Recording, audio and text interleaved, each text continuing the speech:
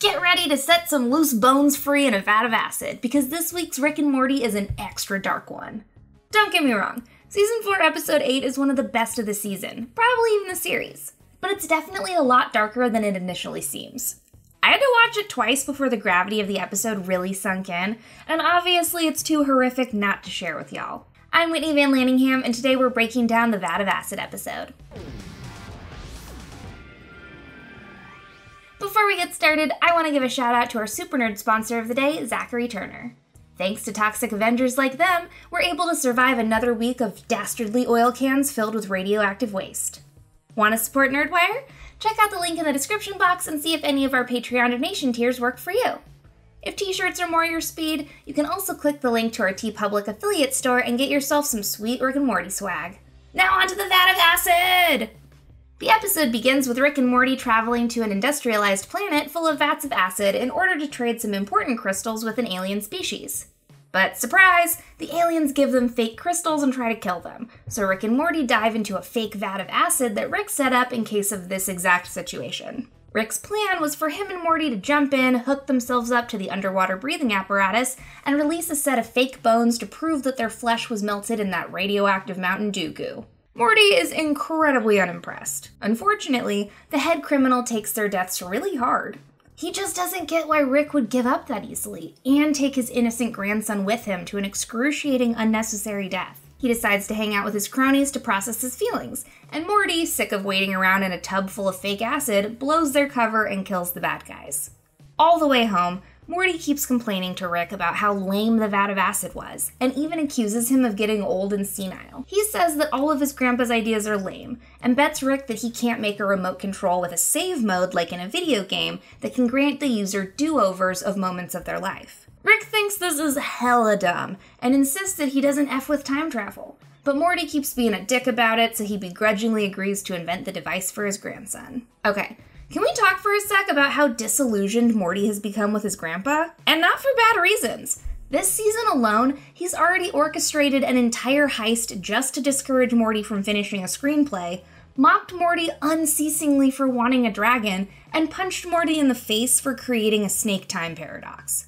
And that's not even counting all the messed up stuff he's gotten Morty into in all the other seasons. Some people on the internet are even saying that Morty getting fed up and annoyed with Rick might be the beginning of Morty C137's descent into evil Morty. But we can come back to that later. All I'm saying is, Rick has been colossally terrible lately, and for extremely petty reasons.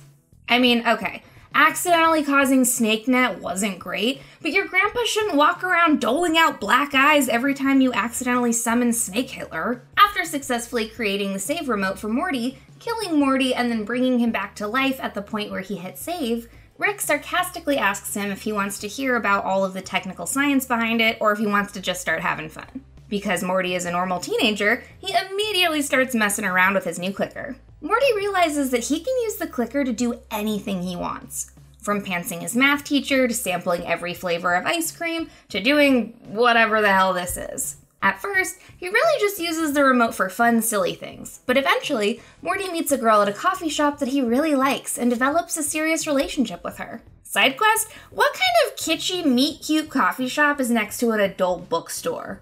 Where do the Smiths live? Silver Lake? Anyway, their relationship has its ups and downs like any relationship does, but it seems like this is the happiest Morty has ever been. I don't see Grandpa Rick hanging out with him and his girlfriend, and it kind of seems like Morty's doing a lot better without him around. That is, until Morty and his girlfriend are involved in a horrific plane crash that mirrors the 1993 movie Alive, based on the real life crash of Uruguayan Air Force Flight 571 into the Andes Mountains. Probably don't need to say it after that description, but this is where shit starts to get real dark. After eating some of their fellow passengers, Morty makes the long icy trek back to the severed tail of the airplane, where he finds the remote as well as a cell phone. He wakes up in the hospital having been rescued, and it seems like he and his girlfriend are going to be able to go back to their normal lives after the crash. Until Jerry F's it up by accidentally clicking the remote. Now Morty has to start all over again at his last safe space right outside that titty joint, looking like a damn fool in front of the woman who no longer knows him. That by itself would be pretty messed up. I mean, they survived a horrific plane crash and cannibalized their friends together. That's not the kind of stuff you can just recreate with a new partner, you know? Now, instead of having hot survivor's guilt sex with his girlfriend, he's reliving the finale of Futurama over and over and over again, except with pepper spray. Man, poor Morty. But because Rick really knows how to coat a knife in lemon juice and twist it in deep, he reveals that it wasn't actually a do over button. Morty wasn't time traveling. He was simply experiencing alternate theoretical realities over and over and over again. Each time he zapped himself, that version of himself in that reality would die, and C137 Morty would shunt into this new reality, replacing the melting version of himself and allowing him his do over. If that scrambles your brain a little, don't worry. The best way to explain it is when Rick tells Morty that he prestiged himself. If you haven't seen the 2006 psychological magician thriller The Prestige, who boy am I about to spoil something great for you. Get over it. It came out over a decade ago, and you had plenty of time to watch it instead of Now You See Me Too. If you have seen The Prestige, you know why this is the perfect example. Basically, Hugh Jackman is a stage magician who hates Christian Bale, who is also a stage magician, so he hires David Bowie to build him a machine that will allow him to perform a trick where he seemingly teleports himself across the theater each night. Turns out that David Bowie's machine was just duplicating Hugh Jackman, and Hugh too was falling through a trapdoor in the stage each night to his watery death. AKA, every time Hugh Jackman performed this magic trick, he killed himself. Underneath the stage was just a mass grave of Hugh Jackman clones that Homeboy wasted every night just because he wanted to be better at magic tricks than Christian Bale. So does it make more sense now? Each of the versions of Morty that pressed the button was just another dead Hugh Jackman. He was literally killing himself thousands of different ways every single time he pressed that button, which really makes this cheese puff eating scene super disturbing in retrospect. He's unknowingly dying every time he misses his mouth hole. You can't tell me that's not a mini horror movie in itself. Theoretically, for some of these Mortys to get to their place in the timeline, they also would have seen the remote work according to Morty's initial understanding, meaning these Mortys would have thought everything was peachy keen until they started boiling out of nowhere. To make matters even darker, for Rick to test the remote earlier in the episode, he would have had to have killed himself and his Morty in cold blood. Throwing shade at Ant Man and the Wasp on his way, Rick explains to Morty that he doesn't respect time travel, and that he didn't invent a device that allowed Morty to go back in time with no consequences, but rather a device that would force Morty to pay the ultimate consequence, aka death, over seemingly insignificant repeated actions. That's messed up, yo! It's one thing to teach your grandson not to sass you about your acid vats, but it's a whole other ballgame to trick your grandson into killing thousands of innocent versions of himself just to make a point. And it's not just Morty he's messing up with this.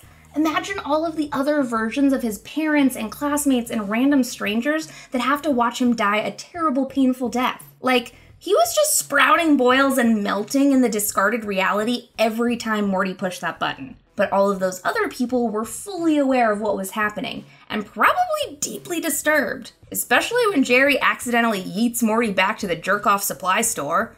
He and his girlfriend survived all of that bullshit, and then Morty just explodes on the couch. Remember when Rick gave Morty the option to either listen to him or have fun? This is apparently what he would have explained to him.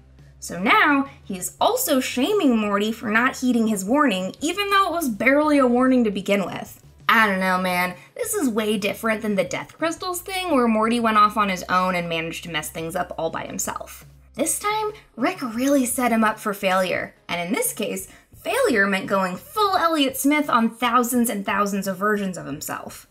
None of them look like they died quickly either, so you know that each individual rotting Morty realized what was happening as their melting flesh dripped into the streets. But that still wasn't enough! Rick then gives Morty the option to erase what happened to all of those other Mortys by forcing the timelines to merge and average into one cohesive probable timeline. Morty agrees, and I gotta say, that looks like it sucks! To make things worse, a SWAT team and a bunch of protesters show up to confront Morty for all the horrible things he thought he wasn't doing. They're out for blood, including the AARP, because Morty totally forced that man out of his wheelchair. That's the American Association of Retired People for those who need the acronym spelled out. Side quest the bar in the background of this scene is totally Moe's Tavern from The Simpsons. Nice. Rick makes Morty kiss his acid vat and dive back in, forcing him to use Rick's preferred tactic to avoid consequences. But seriously, that was a lot to put Morty through just to teach him a lesson. And that's why some people think that evil Morty might be born out of those circumstances. Like I said earlier, Morty's been getting punked by his grandpa since the beginning, but some instances are obviously taken to heart more than others. For example, the first time we really see Morty finally being affected by Rick's cruelty is in the finale of season 1, when he realizes that he's just a tool for Rick to use, and that almost all Ricks kinda hate their Mortys. I feel like this is where the biggest shift happened for Morty, and that each season there's been a new defining moment that further disillusions Morty against his grandfather. Like when Rick used the Vindicators to make Morty hate superhero adventures, or when he basically made it clear that he considers his attachment to Morty so irrational and useless that the love he feels for his grandson was part of his toxic personality. Then, of course, there are the countless bad things that are stored in Morty's mind blowers that Morty probably doesn't even realize have happened. All of those things combined could drive a Morty to the edge.